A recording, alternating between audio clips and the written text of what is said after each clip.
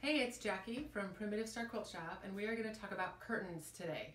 We get a lot of calls, and our customers oftentimes have questions about exactly how and what type of curtain they should put on their windows. So we thought we'd go around with a couple of different windows from some of us here in the office and just kind of talk you through what we did and what the sizes are so you can at least see a few examples of that. So in our office here, this window is 25 and a half wide and about 78, 77 tall.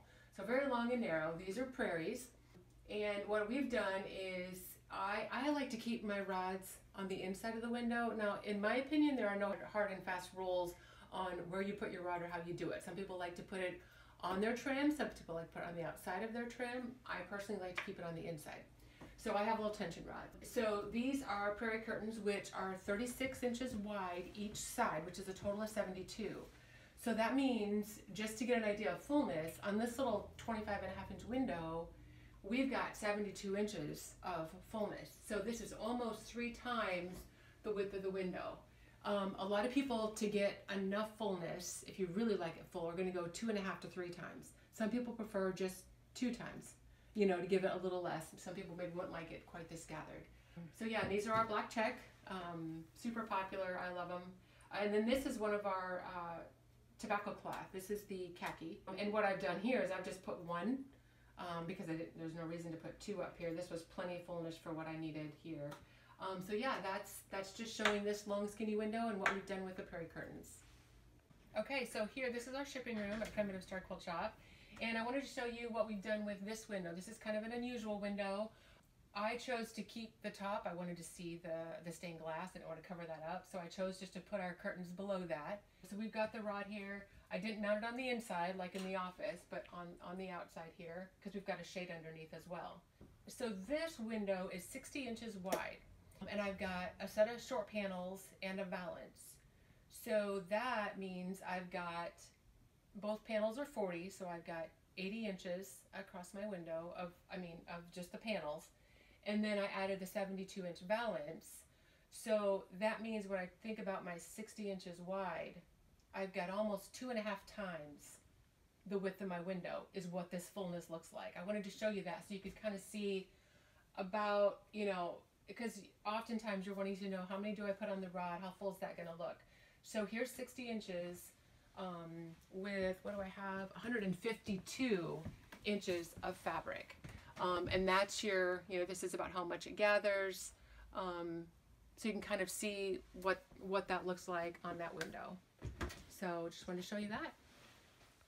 Okay, I'm out in my back room now and I wanted to show you this bigger picture window um, with a little half circle on top. Again, I wanted to keep that open. I definitely wanted the light to come in from that. And so on here, I've got two of the um, Campbell Wine panels, two sets. So there's a set on each side.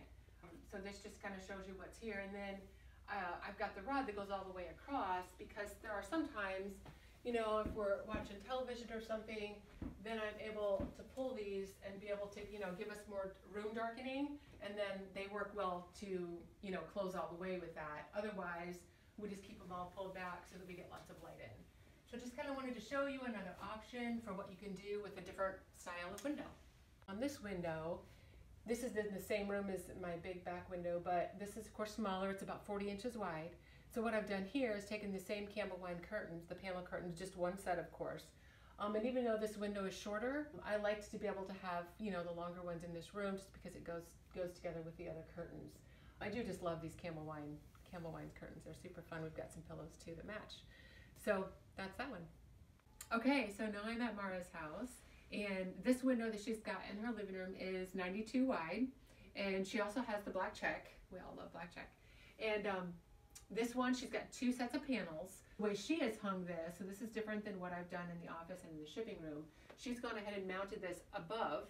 Um, so, you know, her trim shows and the, the, rod is above. That's obviously another way that you can do this uh, depending on what, you know, what you're going for at your house. Okay, so I'm back in Mara's bedroom now. Wanted to show you what she's done in here, again with the black check. We've got a swag as well as a valance. So our valances for, um, for almost all of our curtains are designed so that when you put a swag and a valance together, they are the same length. So that works great if you need to add to a wide window. She, her window here is 67. Um, and so she's got one swag and one 60 inch valance. And so we figured this is probably um, just over two times the the width of her windows, what she's got in curtain fabric to let you see, um, you know, how, how tightly it gathers. Something else to note on this window, she also has the wide, um, the wide uh, rod, the flat kind. These curtains come with a three and a quarter rod pocket, so you can see how this wider, wider rod fits there. Down below here for the tiers, she's got just a regular size rod here. Um, and she's got two sets of 36 inch tiers that, you know, hang behind the bed as well as just, you know, bring a little bit more privacy and, and uh, blocking some more light in this area.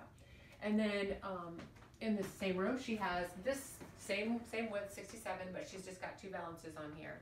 So you can see how on this one, she decided to kind of, you know, frame the bed with some swags, add a little bit more uh, flair to that. And over here, just keep it simple with a couple of valances. Um, again, and this is just under two times uh, the width because these are just 60 inch valances. So just wanted to show you again how to do curtains with some different size windows, uh, even different rods, because again on this one we've got the smaller rod like I use at my house too.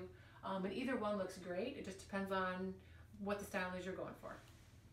Okay, again looking at some black check in the kitchen and it's just one simple valance on just a simple rod that's the smaller kind. Um, this is about 35.